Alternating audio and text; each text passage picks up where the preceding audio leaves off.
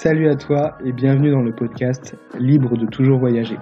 Je suis Joris, l'entrepreneur nomade, et aujourd'hui je reçois Nastasia, une nomade digitale rédactrice web. Tu découvriras au fil de la discussion que le voyage permet de créer une cassure avec son univers et tout ce qu'on nous a inculqué pour avoir la possibilité de s'ouvrir à une nouvelle vie. Nastasia nous explique aussi comment elle gagne sa vie en étant nomade digitale et comment le fait de partager son expérience lui a permis de se créer une tribu. Et pour finir, on parle de la compétence indispensable que chaque personne à son compte doit absolument développer pour réussir. Salut Nastasia, euh, merci beaucoup d'avoir euh, d'avoir accepté de participer à ce podcast. Si tu peux te présenter en quelques mots.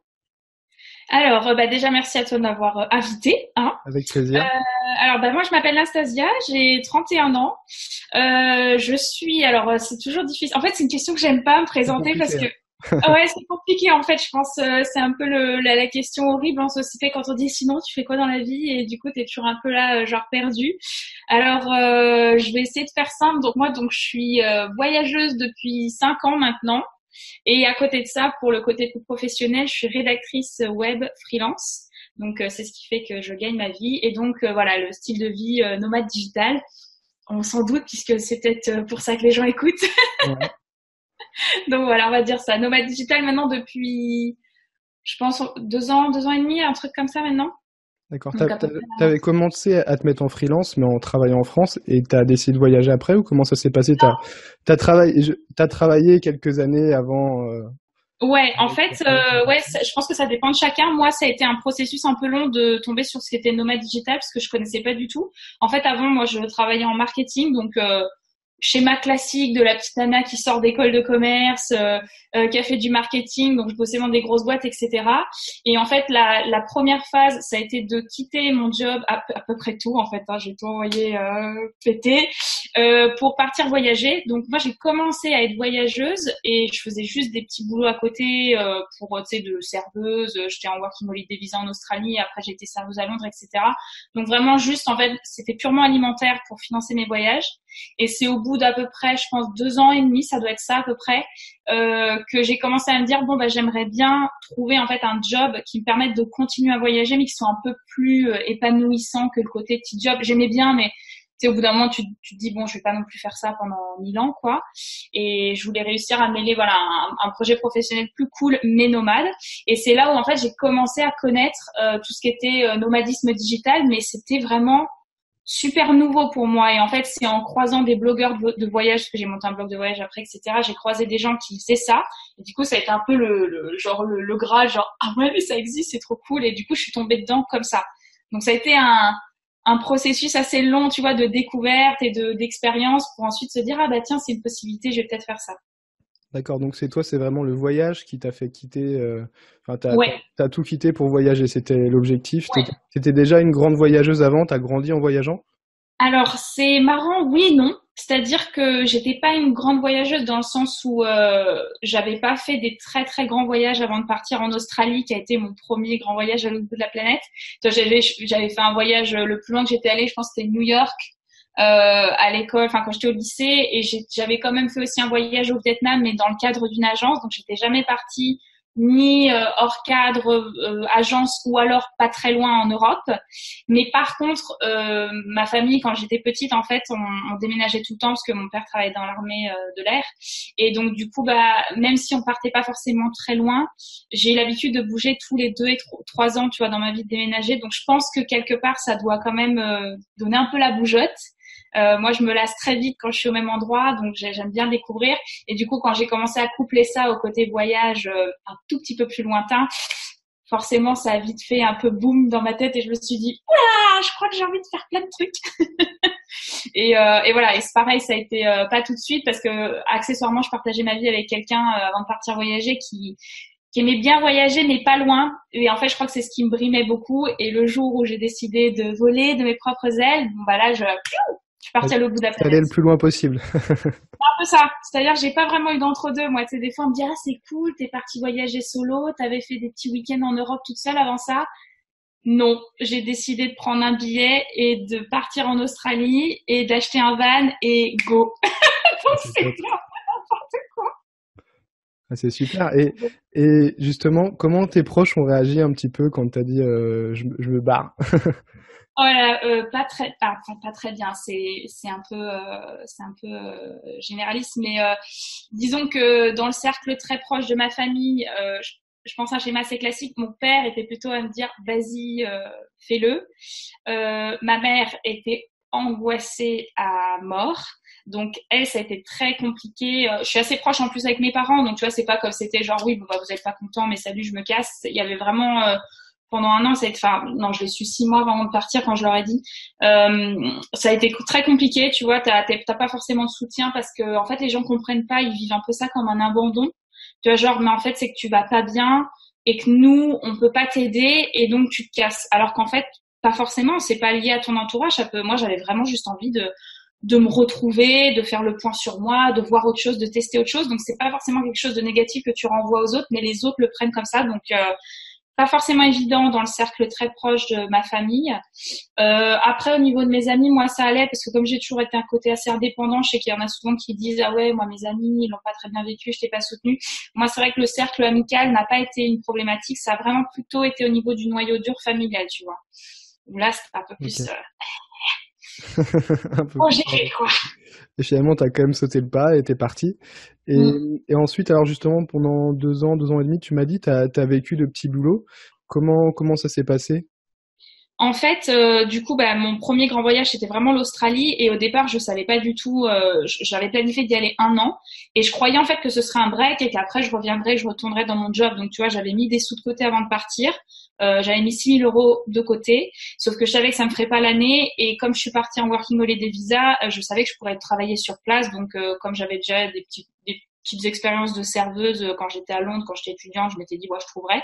Et ça a été le cas, du coup. Donc, tu vois, bah, de temps en temps, en fait, quand je me déplaçais, je me posais dans une ville de trois mois. Je postulais dans des restos, j'avais mes petits CV en anglais. Et puis, bah, je, en principe, je trouvais ça rapidement parce que une fois que tu as deux, trois expériences, ça suffit, quoi. Et, euh, et en fait, ouais, j'ai continué à faire ça parce que quand je suis rentrée en France au bout d'un an, un peu plus puisque je suis partie après en Asie du Sud-Est et tu fais un peu durer le truc.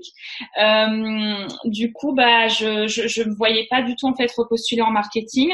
J'avais envie de continuer à voyager, donc je suis partie à Londres pendant sept mois. Et là, de nouveau, j'ai été serveuse pendant sept mois là-bas. Là, c'était vraiment du plein temps.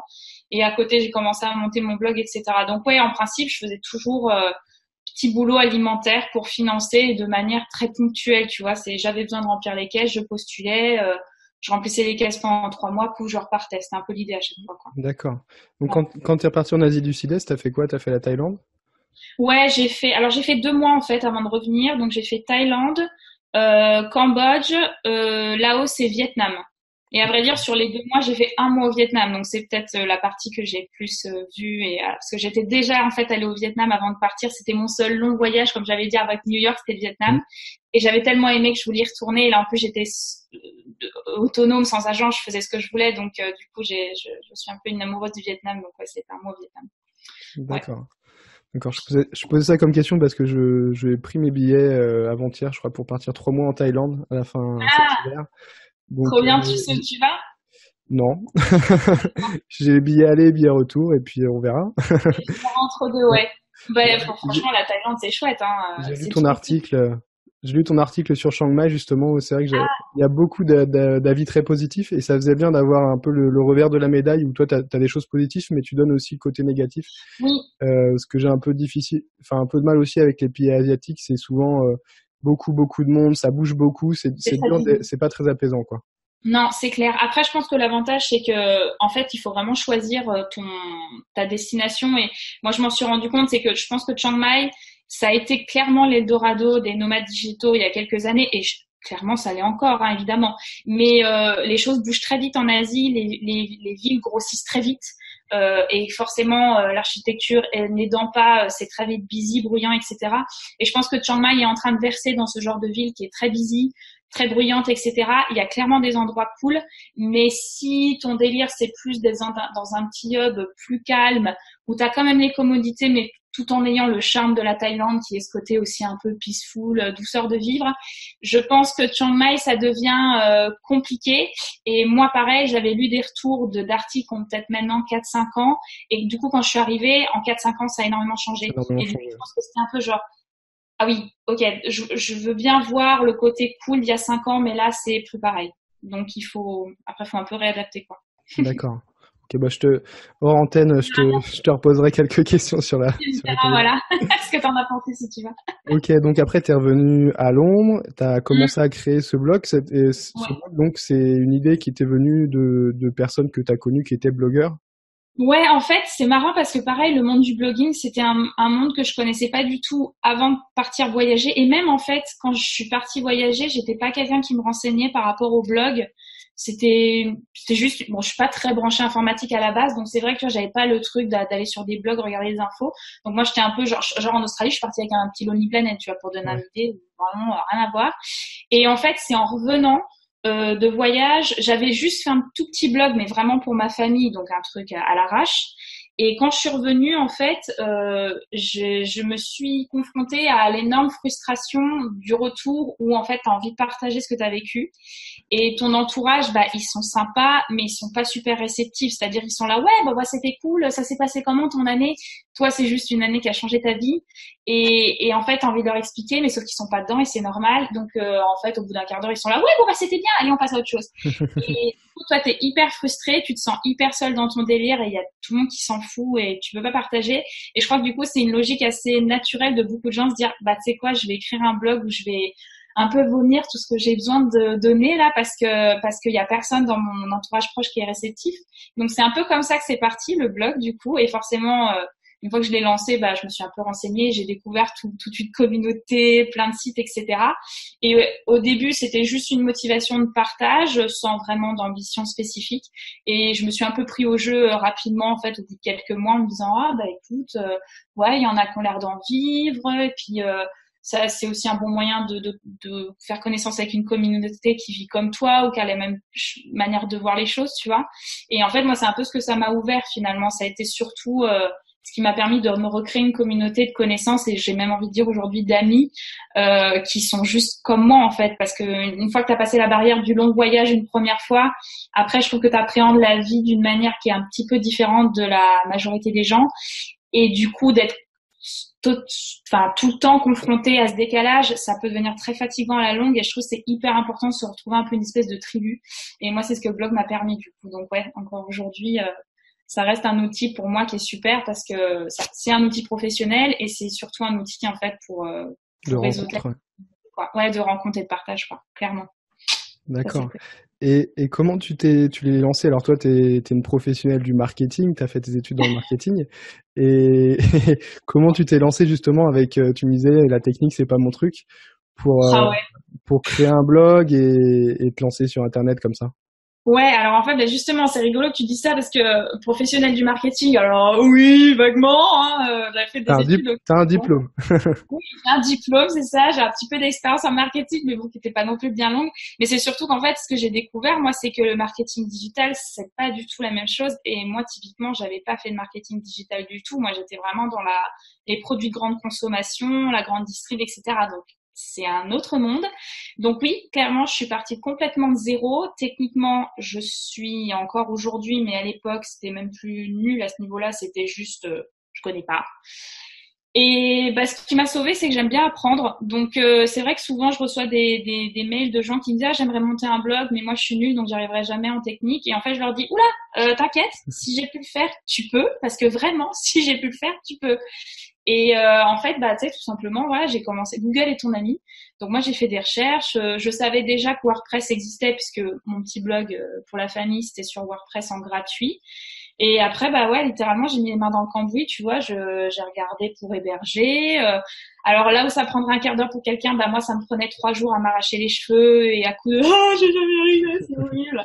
Et puis tu finis par y arriver. Et puis au début, c'est moche. Et puis t'améliores. Et puis t'apprends. Puis etc.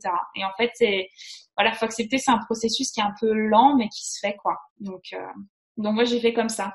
Et encore aujourd'hui, je, des fois, on me dit oui, mais tu sous-traites un peu des trucs, et franchement, euh, quasiment pas, en fait, parce que bah, déjà, financièrement, je peux pas forcément me permettre.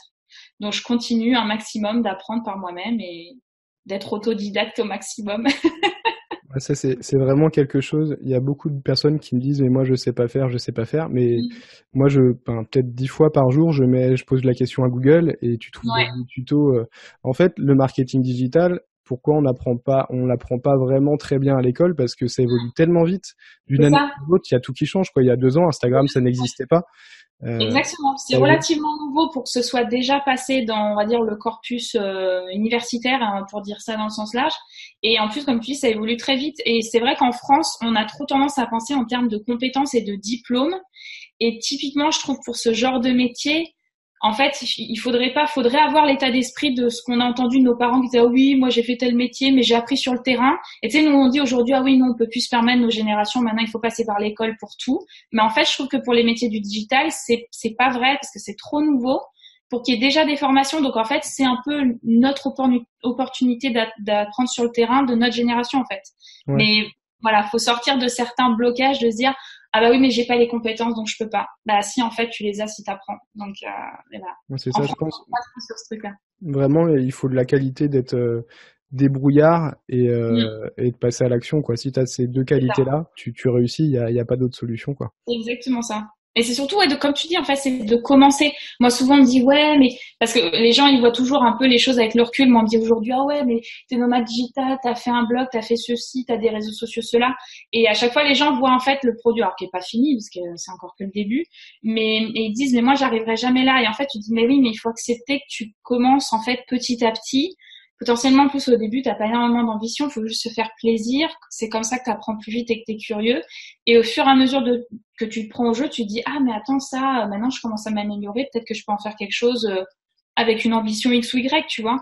Et, et c'est vrai voilà, il faut accepter ce côté progressif qui est pas évident, ce côté débrouillard où au début ça va pas être euh, nickel, parfait tout de suite, mais mieux vaut commencer par quelque chose que toujours attendre euh, le Graal et l'illumination euh, divine et ça viendra pas quoi. Euh. Exactement.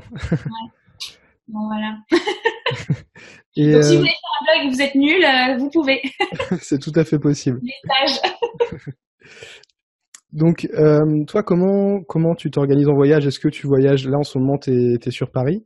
Là, je suis sur Paris, ouais. Comment tu t'organises dans l'année euh, Si tu, vais, tu, tu pars euh, des semaines à droite à gauche, tu pars des mois entiers euh, Comment, comment, ça Alors en fait, c'est c'est c'est c'est une bonne question parce qu'en fait, je pense que c'est la problématique numéro un des gens qui vont se lancer là-dedans, c'est de trouver son rythme. je sais que toutes les personnes avec qui j'en ai parlé, qui sont à peu près nomades digitaux, ont la même difficulté au début. C'est je m'organise comment Moi, je sais qu'au départ, quand j'ai commencé à être freelance, D'abord, on va dire les six premiers mois où j'ai lancé mon activité, j'étais en France posée parce que je m'étais dit, il faut que toute mon énergie passe dans le fait de construire mon carnet d'adresses, etc. C'est du boulot et je me voyais pas le faire euh, en voyage euh, itinérant. Euh, je regrette pas de l'avoir fait comme ça. Et après, par contre, je suis partie vivre en Thaïlande pendant sept mois. Et là, donc à Chiang Mai, du coup, et voilà. Et là, je travaillais et de temps en temps, je me faisais des pauses. Donc euh, aujourd'hui, avec le recul, en fait, moi, je me rends compte le rythme qui me correspond, mais c'est chacun son truc. C'est quand je suis en phase de boulot qui peuvent durer quelques mois. Euh, j'aime bien être posée. C'est pas forcément en France, ça peut être à l'étranger, mais du coup, j'ai vraiment mon énergie concentrée sur le travail. Et après, je me fais des pauses, tu vois. Alors, euh, du coup, aujourd'hui, pour moi, c'est compliqué de partir six mois et faire que voyager parce que c'est vrai qu'avec le travail, c'est plus dur. Puis j'en ai moins l'envie aussi, je l'ai fait avant. Mais maintenant, tu vois, je vais me faire une pause genre d'un mois, c'est ce que j'ai fait cette année j'ai fait des grosses phases de boulot et genre je suis partie un mois euh, en mai au Maroc. Euh, je suis partie un mois en Égypte en octobre, tu vois des choses comme ça. Et euh, là par contre je fais que voyage, c'est-à-dire que vraiment je me retrouve. Je veux pas du tout de pression du travail, c'est pour ça aussi que j'essaie de faire des slots d'à peu près d'un mois parce que plus long ça devient compliqué et puis plus court, bah moi je trouve ça trop court. Donc voilà. Et, et entre deux voilà je travaille. Donc ça dépend vraiment. Euh, et après, pour les endroits où je vis, bah pareil, c'est, aléatoire, tu vois. donc il y a eu une période où j'ai vécu en Thaïlande parce que c'est vrai que la Thaïlande c'est pratique, c'est pas cher, donc euh, l'avantage c'est que tu peux mettre des sous de côté si tu as d'autres projets après. Euh, l'été dernier, j'ai vécu à Sarajevo en Bosnie, qui est moins euh, réputé euh, pour les nomades digitaux, mais qui pour le coup a vraiment du potentiel, un peu comme des Belgrade ou ce genre de choses. Donc, qui était super aussi. Et cette année, je suis à Paris parce que je suis pas du tout parisienne à la base et j'ai jamais vécu à Paris. Mais cette année, en fait, je voudrais prioriser un tout petit peu de choses que le voyage. Je voudrais me lancer dans le théâtre et le stand-up. Et tu vois, je trouve que c'est un autre gros avantage en fait d'être, enfin, au-delà de nomade, mais surtout digital, c'est que du coup, bah, même si j'ai envie d'avoir une vie plus normale en France entre guillemets, plus classique, je peux et j'ai le gros avantage que je peux organiser mon temps comme je veux. Et donc, si j'ai envie de prioriser un autre hobby que le voyage à côté, je peux aussi. Et ce sera le cas de cette année. Donc, euh, c'est un peu un des trucs que j'ai découvert cette année en me disant, mais attends, je peux aussi faire ça si je veux, tu vois, à partir du moment où ça suit financièrement. Donc, euh, donc voilà. Donc cette année, du coup, ce sera un peu plus euh, parisien, exceptionnellement. D'accord, c'est vrai que quand on pense nomade digital, on imagine tout, tout de suite les voyages. Euh, et ouais. Et en fait, non, c'est tu peux juste travailler de, de chez toi. Et Exactement. Mais, vraiment organiser ton temps comme tu veux, passer plus de temps avec tes enfants. Euh, c'est vraiment une question d'organisation après. Euh, J'aime bien ton, ce que tu m'as dit, le fait de vraiment réussir à couper entièrement pendant pendant un mois. Moi, c'est mmh. quelque chose que j'arrive pas du tout à faire. Même, euh, enfin, je, enfin, je travaille quasiment tous les jours. Mais là, par exemple, au Panama, peut-être que je vais travailler une heure, une heure par jour, mais je travaillerai quand même. J'arrive pas complètement coupé. Euh, j'ai envie de, de, faire des choses, ouais. C'est pas évident. Alors, c'est peut-être parce que toi, justement, tu veux m'en parler un peu plus. T'es freelance. Ouais. Qu'est-ce que tu fais exactement pour, euh, pour gagner ta vie? Donc, quel service tu vends? moi, du coup, vraiment, euh, ce qui, mon activité qui me permet de gagner ma vie, donc c'est le fait, je suis rédactrice, donc web, et euh, je suis spécialisée dans le tourisme. Donc moi, vraiment, ce qui m'occupe, c'est d'écrire du contenu rédigé pour euh, des sites internet qui sont dans le tourisme. Donc ça peut être des agences, euh, des comparateurs, etc. Tous ceux qui ont potentiellement besoin de contenu. Donc voilà, des articles, des guides et tout ça. Donc c'est vrai que je pense aussi, ce qui se passe par rapport à ce que tu me dis, c'est qu'il y a aussi des métiers qui permettent plus que d'autres peut-être de faire des coupures. Euh, moi, typiquement, tu vois, une fois que mes clients m'ont briefé sur ce qu'ils veulent et m'ont donné leur timing, si c'est pas un timing trop court, potentiellement je peux m'organiser un peu comme je veux autour de ça. À partir du moment où mes deadlines sont respectées, euh, je travaille de manière hyper autonome parce que mon métier fait qu'une des valeurs ajoutées, c'est une fois que mes clients m'ont filé le truc, c'est genre je veux plus entendre parler de toi jusqu'à ce que tu me rendes un truc nickel. Donc euh, donc moi c'est vrai que ça c'est c'est top de ce côté-là. Je sais que j'ai des copines qui vont être plus tu vois par exemple sur le côté euh, blogging mais professionnel, typiquement là, il faut être beaucoup plus réactif avec tes mails. Euh, si tu fais la formation en ligne, euh, je crois que toi, bon, toi, tu es quand même aussi pas mal dans le. Euh, savait aussi des questions. Ouais. Voilà, moi, je sais que j'en ai fait un peu l'année dernière parce que ça me plaisait, mais c'est vrai que c'est beaucoup plus demandeur parce que ça te demande, quoi qu'il arrive, de, de, de d'animer une communauté euh, presque au jour le jour. Euh, moi, mon format de boulot fait que c'est moins le cas. Après, clairement, ça demande une organisation, mais Tiens, j'ai une question, du coup, c'est moi qui vais te poser une question. Ça fait combien de temps que tu es nomade digital maintenant? Euh, Bonne question, ça va faire. J'ai vraiment quitté mon travail salarié depuis un an et demi. Ok, voilà. Non, je te demande ça parce que, en fait, je crois que c'est aussi un des retours que j'ai de manière générale de tous les gens qui se lancent là-dedans et moi aussi je l'ai vécu, c'est-à-dire que, on va dire, la première grosse année de ton lancement, t'es complètement à donf et justement tu as beaucoup de mal à, en fait t'arrêter parce que accessoirement au-delà d'être nomade c'est la première année que tu es entrepreneur et que tu découvres ce que c'est que de travailler à ton compte et donc si tu travailles pas tu ne vas pas rentrer d'argent et le manque de visibilité financière et tout ce qui va avec et le stress et tout ça et je crois qu'en fait on est tous un peu euh, la première année, c'est hyper dur. C'est-à-dire que tu es à donf, tu n'as pas de jour de repos, comme tu dis. Moi, j'ai exactement ça euh, ma première année. Et même quand j'étais en Thaïlande, tu vois, au final, c'était pas une super période parce que j'étais hyper frustrée. Je voulais tout de suite, moi, à côté, je bosse et je profite. Et en fait, j'étais surtout en mode boulot, boulot, boulot, boulot. Et du coup, j'étais presque à me dire, mais en fait, quel est l'intérêt de vivre en Thaïlande si je peux pas profiter? Je crois que c'est vraiment propre à ta première année parce que tu sais pas jauger et c'est normal. Et tu vois, moi, la deuxième année, j'ai vraiment fait un travail de prise de recul sur moi en me disant, OK, cette année, c'était cool, j'ai lancé mon activité, mais plus jamais ça. Et après, t'arrives plus à te forcer et tu te connais mieux aussi, donc à te faire des pauses, à te dire ok peut-être que là je travaille à Donf pendant trois mois mais je me fais une pause de un mois ou euh, bah, je travaille à Donf tout le temps mais je me fais quand même un jour de repos par euh, semaine. Tu vois après chacun fait ce qu'il veut, mais euh, c'est c'est un questionnement qui vient euh, assez naturellement au bout de à peu près ouais un an c'est ça d'activité peut-être que tu vas y arriver du coup j'espère. Ouais, bah c'est pour ça. Moi, en fait, c'est ce que j'ai fait que ce, que ce que je conseille à beaucoup de personnes, c'est vraiment de commencer euh, son activité avant de quitter son travail. Euh, ouais. J'ai développé un premier business euh, avant de quitter mon travail pendant un an. Et ce qui fait que quand j'ai quitté mon travail, ça s'était déjà en route, mais en fait, j'ai relancé des trucs, bah, je, je, relance tout le temps des, des nouveaux business, quoi. C'est un peu le problème. Ouais, parce que t'as des idées. Bah, de toute façon, c'est le problème quand t'es passionné, t'as trop d'idées.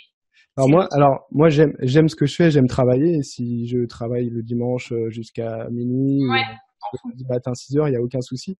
Mais c'est vrai que hum, alors je prends toujours tous les jours, je prends du temps pour moi, pour faire du sport, pour me balader, pour lire, pour apprendre de nouvelles choses. Mais euh, c'est c'est vrai que quand tu es dans un pays étranger, c'est presque un peu déçu de pas pouvoir profiter plus euh, du pays. Je suis là-bas, mais j'en profite pas. Euh, alors qu'en fait, on profite quand même du style de vie, mais on, on sait pas, c'est pas profiter comme des vacances où tu prends deux semaines de vacances où tu fais rien, ou toi tu pars un mois, c'est exactement la même chose. Mais c'est trop ça. Et ça, c'est hyper euh, intéressant et important comme point. C'est vrai qu'en fait, quand euh, tu deviens, euh, en fait, quand tu bosses à ton compte en digital et que tu peux te permettre du coup de vivre ailleurs, en fait, le truc, c'est que c'est plus des vacances, c'est un style de vie. Et après, style de vie dit qu'il y a forcément une espèce de routine avec des choses qui étaient quand même importantes dans ta routine d'avant quand tu étais sédentaire en France. Donc, comme tu dis, toi, par exemple, tu vas faire du sport. Moi, je sais pas, je vais peut-être aller faire de la danse, j'en sais rien, peu importe, etc. Donc, qui prennent quand même du temps. Et, euh, et d'un autre côté, tu as le côté, euh, bah ouais, mais voilà, je suis à l'étranger, donc euh, comment je gère la chose? Et tu vois, typiquement, je l'ai mieux géré, par exemple, cet été quand j'étais à Sarajevo, c'était intéressant, j'étais avec une autre copine blogueuse, euh, Lucie de Voyage et Vagabondage, et du coup, en fait, toutes les deux, on avait les mêmes retours sur ce genre d'expérience, on se disait, ouais, on essayait à l'étranger, mais on était un peu frustrés. Et là, tu vois, on s'est vraiment donné un rythme. On avait genre cinq jours on bossait euh, bien toutes les deux, on, sortait à Sarajevo le soir, mais genre cool, comme une vie de sédentaire normale. Et après, par contre, on se prenait deux jours par semaine, alors pas forcément le week-end, du coup, c'est l'avantage, t'es pas obligé d'aller le week-end quand il y a tout le monde qui est en pause. Et euh, on se prenait deux jours, et moi j'avais ma voiture, et on allait visiter vraiment le pays. Et au final, sur les deux mois, on a eu le, on était contente au bout des deux mois, parce qu'on s'est dit, ok, on a vraiment bien vécu côté vie à Sarajevo et quotidien et euh, on a réussi quand même à faire un peu de sport, visiter tout ça. Et à côté, on a vraiment découvert la Bosnie. Mais tu vois, on s'était un peu euh, un peu préparé psychologiquement au départ parce qu'on savait que si on se forçait pas, on allait se faire emporter par le côté notamment travail et on aurait été dans la frustration. Donc c'est pas, ouais, ça peut paraître fou pour les gens qui sont de l'extérieur de ça et qui, qui se disent juste non mais qu'est-ce que c'est quoi ce délire, c'est juste les vacances, c'est trop cool. Mais en fait non, c'est des vraies problématiques que tu as quand tu commences à vivre ce style de vie parce que c'est plus juste euh, un coup boulot, un coup vacances. Les deux sont tellement imbriqués qu'il faut, euh, faut trouver un équilibre euh, de nouveau. Exactement, surtout quand euh, moi je peux travailler depuis mon téléphone et même quand je pars me balader, tiens des notifications, des gens qui ont acheté sur la boutique, je vais voir ce que c'est. Exactement. T'as as, toujours des choses, donc c'est vrai que dès qu'on arrive dans un nouveau pays, c'est bien de récupérer des bonnes habitudes. je mm. me fais maintenant un planning sur un papier qui est sur le frigo. Voilà, de telle heure à telle heure je travaille, de telle heure à telle heure je fais ça, et pour le suivre au maximum. Alors je dis pas que j'arrive à le suivre tous les jours, mais vraiment de le suivre au maximum pour garder un bon un bon rythme. Ouais, mais c'est déjà bien d'en être conscient et de faire ça, tu vois. Moi, j'ai commencé aussi un peu comme ça. Hein. Le premier truc, je me rappelle, euh, ma deuxième année, je me suis dit, je ne termine plus mes, mes journées à 21h. C'est fini. Tu vois, c'était une de mes premières règles genre à peu près vers 18, 19 euh, heures quand je trichais un peu, j'étais là, c'est fini, c'est, je fais autre chose. Parce que c'est vrai que sinon, euh, comme tu dis, en, principe, tu peux essayer quand même de partir plutôt sur une activité de passion. Enfin, en tout cas, je le souhaite à ceux qui vont se lancer. Et c'est vrai que quand tu es dans tes passions, mais en fait, tu as 10 000 idées à la minute. Donc, euh, tu trouves d'excellentes excuses de ne jamais t'arrêter parce que tu as toujours d'autres idées. C'est ça. Mais bon, c'est ce qui fait le charme du truc aussi. il, y a, toujours des, des choses à faire. Ah, c'est ça, exactement. Donc aujourd'hui, tu as ton blog, on va Stories. Euh, Quelle est ta mission dessus aujourd'hui? Ma mission de vie. Ta mission. Euh, écoute, alors euh, c'est c'est marrant parce que au début, en fait, pendant longtemps, j'étais là, oh là là, mais mon angle, il est pas clair, il est machin, euh, parce que j'étais pas, tu vois, spécialement clé d'entrée, tour du monde, etc. Et finalement, aujourd'hui, je l'assume beaucoup plus. Moi, je sais que ce qui me plaît dans le voyage, c'est le côté que c'est un super alors j'aime pas le dire comme ça, mais c'est, un des plus bels outils que tu as pour changer de vie et, et, et, mais changer de vie au sens large du terme, c'est-à-dire toi-même ta manière de penser. Ça peut aussi se, se reporter sur ton style de vie, puisque si tu deviens nomade, c'est quand même un sacré changement de vie par rapport au fait d'être sédentaire. Et du coup, moi, c'est ça que j'essaye de faire dans sur mon blog, c'est vraiment de de rassurer les gens et de leur partager mon expérience et le plus de motivation possible pour les aider dans leur cheminement de changement de vie à eux, tu vois. Donc, euh, en principe, je me dis j'ai réussi ma mission de blog quand je reçois un mail un matin qui me dit euh, salut, euh, j'étais complètement larguée, je j'aime pas mon taf, euh, j'ai l'impression que je passe à côté de ma vie et grâce à tel article, je me suis dit que j'allais partir à l'autre de la planète pour me retrouver et tout. Des fois, je me dis mon Dieu, mes parents vont me détester, mais j'ai quitté mon taf, je me suis cassé le bout de la planète. Et, euh, et du coup, je me sens mieux et je me sens plus en phase avec moi et plus heureux. Bon, bah voilà, tu vois, quand je reçois ce genre de mail, je me dis, ouais, c'est bon, c'est cool. J'ai fait ma mission. Mission accomplie. mission accomplie, j'ai bien fait de me lever. c'est ça, c'est vraiment ton axe sur ton blog, c'est quelqu'un qui, qui sait peut-être pas trop où il est, qui a envie d'autre chose, qui te découvre et tu l'inspires vraiment à, à changer de vie, à tester le nomadisme digital. Ouais, c'est ça. Et même de manière, tu vois, il y a nomadisme digital parce que forcément c'est un pan de ma vie, mais euh, mais même de manière générale, ça peut être aussi juste la clé d'entrée de voyager pour se retrouver. Tu vois, parce que je, enfin, tu vois, je pense que quand tu arrives à un moment de ta vie, et il y en a pas mal dans notre génération. Maintenant, je trouve des gens, euh, t'en croises de plus en plus, qui te disent bon bah voilà, j'ai fait des études, j'ai suivi les rails euh, et ce qu'on attendait de moi. Euh, j'ai 25 ans, j'ai 30 ans, euh, j'ai 23 ans, et en fait, euh, je suis soi-disant au max de ce que je pourrais faire et en fait je suis pas heureux. C'est pas une question d'être profondément malheureux, mais c'est juste une question de te dire ah ouais d'accord c'est ça. And so what? Un peu tu vois le côté genre euh, right? Et ça va durer 40 ans et en fait je m'emmerde déjà et c'est déjà la routine et c'est déjà le métro boulot dodo et bon ok je sais déjà que dans 5 ans je vais me marier dans 10 ans j'aurai des gosses et dans 20 ans je vais divorcer c'est horrible ce que je dis mais ça et voilà et je vais acheter une maison et il y aura la retraite et ouh vivement la retraite. Et je trouve qu'il y a plein de gens comme ça de notre génération qui se rendent compte de ça et qu'une fois qu'ils ont le déclic ils se disent juste ok mais c'est quoi les autres alternatives? Et en fait, bah, les autres alternatives, il y en a plein à partir du moment où tu ouvres un petit peu tes chakras à penser différemment et à avoir d'autres possibilités et à ne plus percevoir euh, euh, ce qui conditionne le succès de ta vie comme passant par un bon boulot, fonder une famille, acheter une maison, etc. Et moi, j'ai exactement eu ce problème en fait euh, quand je me suis retrouvée à 25 ans avec mon CDI, mon copain, mon appart et mon machin et en me disant, ok, je suis pas heureuse.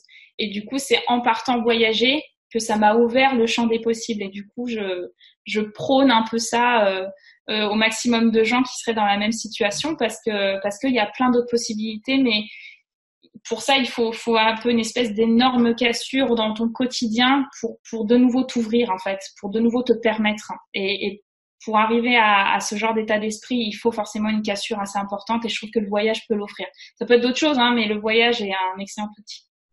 C'est vrai, il y, a, pas mal aussi de, personnes que dans mon entourage où j'ai eu pas mal d'articles sur euh, cet effet-là, des personnes qui ont eu leur diplôme, leur, master, école de commerce, et puis arrivé à 30, 32 ans, au moment où soit en fait tu rentres vraiment dans, dans cette routine-là et tu peux plus faire marche arrière, ou soit si tu dévis, il y en a pas mal qui partent sur euh, des BEP, des métiers euh, manuels, ou dans la cuisine, ou dans toute autre chose en fait.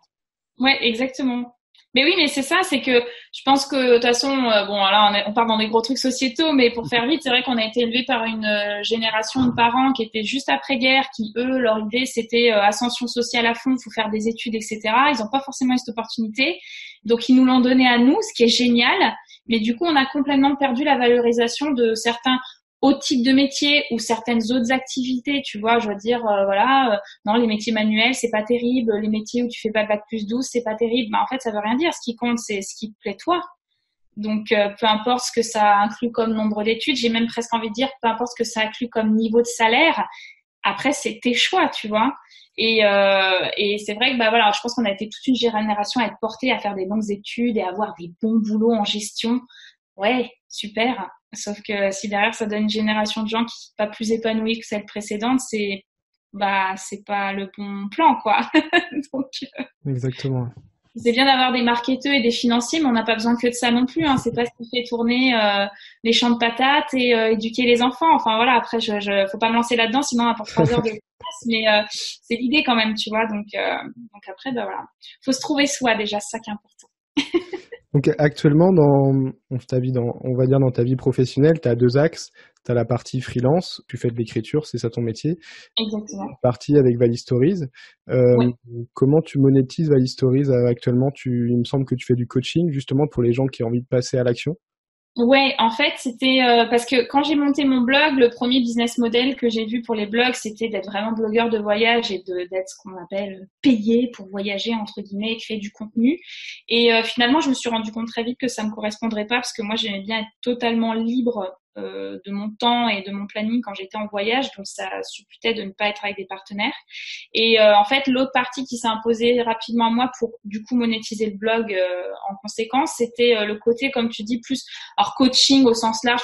moi, je me trouve, je sais que je suis pas coach, mais pour motiver en tout cas les gens ou pour les former un minimum à des problématiques.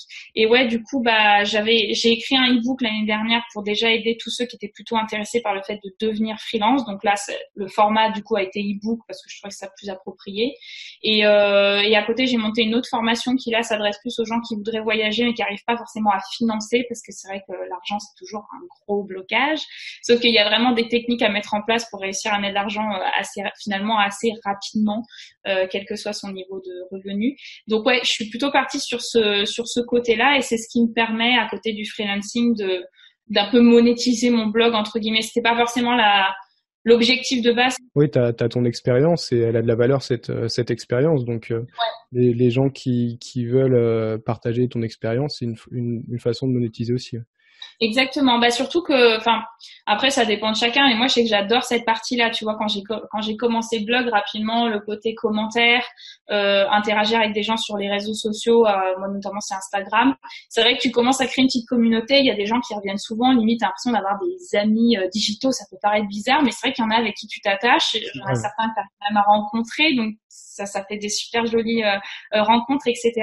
Et moi, c'est une partie que j'adore en fait, tu vois, de pouvoir échanger au maximum avec les gens de ma communauté, leur filer des conseils, interagir et même tout simplement des fois rassurer, tu vois, c'est-à-dire qu'il y en a qui ils n'ont pas toujours forcément besoin d'un conseil pratico-pratique, mais juste de leur dire euh, quand ils disent bah tiens je vis ça, j'ai l'impression que bah, j'ai peur de l'échec ou j'ai peur de décevoir ou je culpabilise putain, je comprends tellement parce que je crois que tous ceux qui font ce genre de choix passent par ces phases-là et, euh, et du coup, moi, j'adore en fait interagir là-dessus avec ma communauté. Donc, euh, donc ouais, si c'est si c'est quelque chose qui te motive dans le côté le fait de transmettre, c'est vrai que du coup, ça s'y prête super bien avec le blog, quoi. Ouais, c'est quelque chose que j'aime beaucoup aussi. Moi, je, mm. je voulais pas faire de coaching parce que je m'étais toujours dit, je veux pas échanger mon temps contre de l'argent. Ouais, et, au final, je, je, me suis rendu compte que je passais tellement de temps à donner des conseils et je prenais tellement de plaisir à le faire je suis bon, allez, je vais, faire un peu de coaching, je vais trier vraiment sur le volet les personnes motivées qui veulent avancer, qui veulent faire quelque chose. J'en prends peut-être deux ou trois maximum en même temps. C'est vraiment parce que ça me fait plaisir. Ça et, plaît, et, et, de voir, en fait, le problème un peu quand tu donnes des conseils comme ça à droite à gauche, tu dois, à mon avis, tu dois avoir plein de questions sur Instagram ou sur mm. Et tu donnes, tu donnes des conseils et les gens partent avec, tu sais pas ce qu'ils en font. Tu sais pas si quelque chose ça a vraiment un impact, si ça va changer leur vie, s'ils l'appliquent. Et le fait de faire du coaching, ça, ça te permet vraiment de voir cette évolution. Et personnellement, c'est, vraiment très fort et ça fait un, un grand bien de pouvoir aider des personnes comme ça. Oui, c'est vrai, tu as raison. C'est vrai que ça, au moins, ça, ça encadre un peu le côté retour aussi, de savoir qu'est-ce qui a un impact dans les, dans les astuces que tu donnes. C'est vrai que c'est un super bon point, ça, que tu pas toujours, en effet, quand on voit les mails et tout ça. Ouais. Tu as un e-book, d'ailleurs, c'est comme ça que je t'ai connu. J'ai vu passer ta publicité sur mon Insta. Ah ben voilà, merci la pub Instagram. et c'est comme ça que je t'ai connu en, en voyant la, la, pub pour ton e-book. Et moi aussi, j'ai fait un e-book justement où je partage un petit peu ma, oui Nomade digital, j'ai vu, ouais. Ouais, exactement, où je partage un peu ça. Et c'était un peu le problème, c'est qu'il y en a beaucoup qui téléchargent et tu dis, bon, dans ceux qui téléchargent, il y a ceux qui ouvrent même pas le mail, il y a ceux qui ouvrent le mail mais qui lisent, mais qui le lisent même pas, il y a ceux qui le lisent euh, en diagonale et dessus, on a peut-être quelques-uns qui vont vraiment être inspirés. Et c'est un peu dommage de pas avoir ce retour de savoir, euh, de savoir ce que tu as pu leur apporter, quoi. Ouais, c'est vrai que oui, sur les produits, euh, on va dire euh, formation digitale, celles qui sont format e-book ou format vidéo où t'as pas d'interaction, c'est vrai que malheureusement, comme tu dis, bah tu perds un peu ce côté retour. Après, tu peux faire des demandes de témoignages. Moi, c'est ce que j'ai fait justement il y a pas longtemps avec le e-book parce que il est sorti en avril 2018, donc là ça va faire presque un an. Et euh, bah tu vois, c'était aussi quelque chose qui me manquait un petit peu. J'avais quelques retours de gens que je connaissais autour de moi, mais après, bah, la plupart je les connais évidemment pas. Et ça faisait du bien un peu d'avoir des retours par mail de gens qui me disaient ah bah voilà moi j'en suis là, moi je me, je me suis lancé. Certains qui disaient juste ah bah alors c'est complètement tombé à l'eau pour l'instant, mais je le garde à côté. Mais voilà, comme tu dis, au moins ça t'as des retours un peu plus concrets, c'est bien aussi quoi. Mm. Mm. Et, et, donc, dans ta, ton autre activité, vraiment plus de freelance, comment tu fais pour trouver tes, tes clients? Euh, C'est quoi un peu cette démarche? Alors en fait, euh, bah du coup comme je suis euh, rédactrice et que je travaille pour les sites internet, euh, moi du coup c'est que du B2B, donc donc business to business pour les gens. il ne faut pas de marketing, donc des, des, des, interlocuteurs professionnels. Donc moi je me concentre vraiment sur la partie mailing et, et les salons professionnels en fait. En principe moi c'est vraiment mes deux axes. Il y en a plein différents selon les profils de métier, mais mais moi du coup c'est vraiment mailing et salon. Et du coup, voilà, bah, hein, tu construis ton petit mail la première fois avec un peu tes arguments phares, etc., que tu adaptes en fonction de chacun de tes clients, évidemment. En tout cas, je le recommande. Et, euh, puis, ouais, bah, au début, tu vas un peu à la pêche aux, aux clients. Hein. C'est-à-dire que moi, je partais de zéro. Hein, j'avais pas vraiment de contact dans le milieu. Même si j'avais un blog de voyage, ne travaillant pas avec les professionnels, j'avais vraiment zéro contact. Donc ouais, bah du coup, tu essaies de choper des mails à droite à gauche, euh, t'appelles pour demander le contact de la personne qui se charge pour la rédaction, tout ça, tout ça, et puis t'envoies des mails et t'espères que tu vas avoir des réponses. et, c'est des genres de clients qui, par contre, qui sont répétitifs derrière, tu arrives à, à travailler plusieurs fois avec eux? Alors ça dépend. En rédaction, faut être honnête, c'est très, euh, c'est plutôt du ponctuel. Il peut y avoir du récurrent, mais c'est beaucoup plus rare. C'est genre 80-20, euh, tu vois, tu as 80% de ponctuel et 20% de récurrent. Euh, du, du, coup, c'est vrai que malheureusement, il faut quand même être conscient que dans la rédaction, il y a un côté euh, démarchage qui revient de manière assez cyclique, pas très souvent parce que forcément après plus ton carnet d'adresse est, est euh, fourni, moins tu as besoin de démarcher à fond. Mais c'est vrai que tu as quand même toujours une petite partie démarchage qui est récurrente parce que c'est assez ponctuel. Tu on va te demander quelques articles et puis euh, si tu as de la chance, on te remonte l'année d'après ou deux ans après, mais en principe, euh, ils avaient un besoin euh, bien précis sur une destination et une fois que c'est fait, c'est fait quoi. Donc euh, là, c'est plus. Et alors moi, j'ai déjà travaillé avec des, des, rédacteurs, mais en passant par les, des microservices. comment comment tu, tu fixes tes tarifs à peu près? C'est au nombre de mots? C'est ça dépend du sujet? Ouais, alors dans la rédaction, c'est vrai que tu as, contrairement aux autres freelances où ça va être plus du temps ou des packages, nous, on est beaucoup souvent payé. Euh, alors, normalement, c'est vrai qu'on dit souvent au nombre de mots. Moi, je vais être très honnête, à part un de mes clients, euh, la plupart du temps, c'est plutôt à la page, par exemple. Tu vois, tu sais qu'il y a une référence à peu près en nombre de mots. Euh, une page, c'est 500 mots. Donc voilà, moi, j'ai ma grille tarifaire de base, c'est euh, une page vaut tant. Et après, en fonction des demandes de mes clients, du nombre de pages, de la récurrence, euh, etc. On va s'adapter. Donc, euh, donc soit voilà, je facture à la page, soit je facture euh, à la journée aussi. Ça peut m'arriver. Si, tu vois là, par exemple, je viens d'obtenir un, un, nouveau client et lui, c'est plus un il y a à la fois de, de, la stratégie de contenu et de la rédaction. Donc quand, quand tu un peu les deux, c'est pas forcément euh, pertinent euh, de faire payer que à la page parce que tu vas aussi passer du temps sur de la réflexion. Donc là, je lui fais plutôt un tarif euh, à la journée et voilà, une journée égale temps et si si c'est trois jours, bah, multiplié par trois, etc. Ce genre de choses. Mais c'est vrai que les tarifs c'est toujours compliqué parce que faut avoir une base au moins de combien tu vaux par exemple à l'heure euh, ce que tu estimes que tu vois à l'heure. Moi, je suis partie avec 30 euros de l'heure, par exemple. Mais c'est vrai qu'après, tu es obligé d'énormément adapter parce qu'il y a tellement de il y a tellement de critères en fonction de la, la récurrence du client, euh, le type de, de job qu'il te demande, etc. Si c'est un sujet que tu maîtrises, ou tu peux aller assez vite dessus. Ou ouais, voilà, tu vois, il, Exactement. En rédaction, il y a des sujets où tu sais que ça va aller très vite. Il y a des sujets où il faut beaucoup plus de recherche. Il y a de l'optimisation SEO. Des fois, il faut fournir des photos. Donc, tu vois, selon aussi le type de contenu, euh, c'est très très variable. D'accord. Donc toi, tu as, cette compétence de, de rédaction et il y a une compétence qui, dès que tu es à ton compte, tu as une, une, compétence qui est obligatoire et qu'il y a beaucoup de, personnes, je pense, qui l'oublient, c'est celle de, de, se vendre en fait. C'est une des meilleures compétences. Tu peux être la meilleure rédactrice, le meilleur rédacteur du monde. Si tu sais pas te vendre, tu n'arriveras à rien. Euh, que c'est quelque chose que, que tu as, as, appris aussi en, avec l'expérience, avec les échecs, en apprenant à t'améliorer? Comment tu as, as, appris cette compétence de... C'est un super bon point et je suis totalement d'accord avec toi parce que moi souvent les gens euh, qui me demandent euh, est-ce que tu t'es formé à la rédaction? En fait ça me fait trop rire euh, pas rire la question est pas bête du tout mais mon analyse me fait rire parce que je me dis en fait non je me suis pas formée à devenir rédactrice je me suis formée à devenir freelance littéralement parlant parce que je, savais à peu près que je savais écrire d'une manière qui ferait que ça passerait. Après la compétence, surtout par exemple l'écriture, bon, il y a des choses intangibles comme le fait de savoir écrire euh, bien français et pas de faire des fautes, mais après pour le reste, il faut vraiment s'adapter à tes clients. Donc, je trouvais pas ça pertinent de se former à la rédac, mais par contre, c'est un excellent point, c'est savoir se vendre. Et moi personnellement, j'étais pas du tout à l'aise avec ça. Le côté de démarchage, euh, euh donner les points clés, euh, parler des besoins du client, tout ça, j'étais pourtant j'ai fait une école de commerce, je devrais, mais j'étais quand même pas à l'aise. Et du coup, j'ai fait une formation en fait en ligne avant de me lancer euh, de euh, aider du blog Travel Plugin. Je sais pas si tu connais. Elle a une formation qui s'appelle Un cas un mois. Euh, qui est du coup à l'époque en fait elle la lançait donc moi j'avais fait le, le, format bêta et qui est qui est une excellente formation que je recommande et euh, du coup ça m'avait vraiment en fait aidé à me donner une stratégie au début pour me lancer parce que du coup elle aborde vraiment les bah, comment en fait euh, entre guillemets séduire tes clients de la bonne manière créer ton offre tout ça.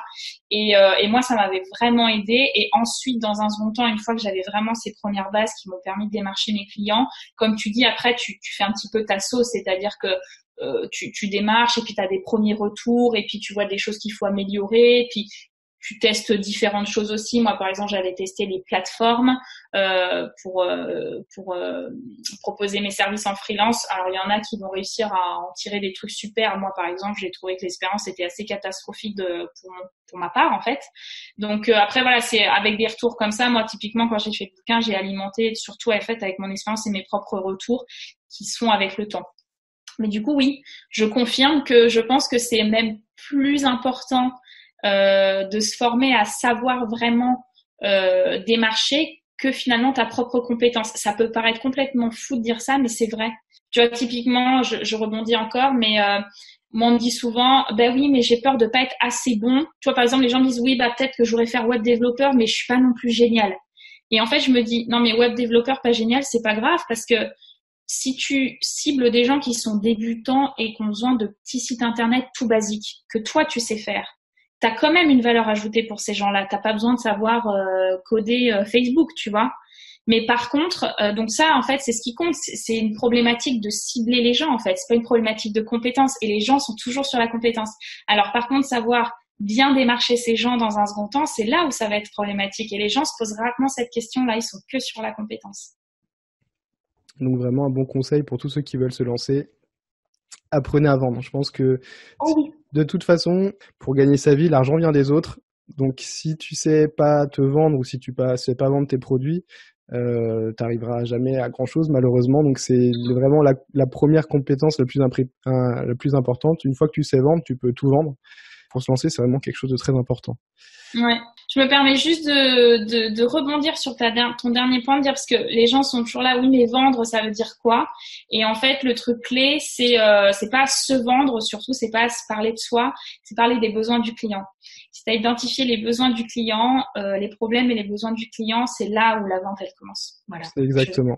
En gros, ouais, ils sont à, ils sont à point A, ils veulent aller à point B, et toi tu dois leur poser le pont entre le A et le B et te dire c'est moi la solution, c'est mon produit, c'est mon projet. Voilà. exactement. Et si tu as compris ça, en principe, t'es bien. Exactement. Après, bon, il y a plein de techniques autour, de techniques marketing. Oui, oui, ça c'est une grande généralité, mais déjà, si ça, c'est pas mal. La base, euh, où est-ce qu'on peut te retrouver, que ce soit sur les réseaux sociaux, ton blog, pour travailler avec toi, euh, si, on, si on a besoin d'une rédactrice?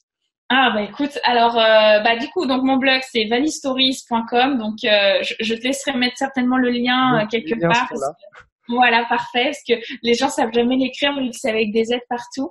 Euh, niveau réseaux sociaux, bon, forcément, je suis sur les principaux euh, Facebook, euh, Instagram, euh, Pinterest, mais vraiment mon, mon, réseau social de cœur, c'est Instagram, c'est là où je fais des stories tout le temps. Donc, donc si vous voulez entendre ma voix douce et absolument joyeuse, n'est-ce pas? Je déteste ma voix.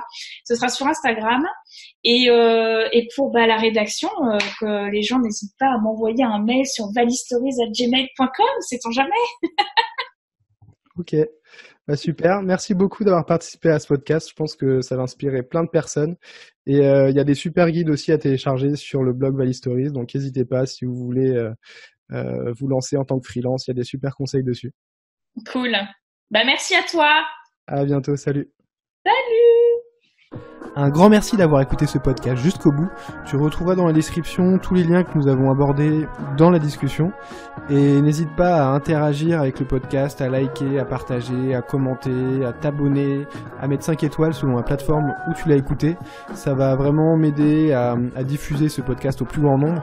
Et n'hésite pas à t'abonner vraiment si tu veux écouter à nouveau les prochains podcasts où j'interviewerai des nomades digitaux, aussi des grands voyageurs. Pour ma part, tu peux me retrouver sur Instagram principalement à entrepreneur-du-bas nomade ou sur mon site entrepreneurnomade.com. Tu peux télécharger aussi dans la description mon e-book gratuit Libre de toujours voyager où je te partage mon expérience de nomade digital. À très vite.